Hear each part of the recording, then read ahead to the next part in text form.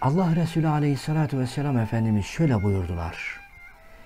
İş ehil olmayana verildiğinde kıyameti bekleyin.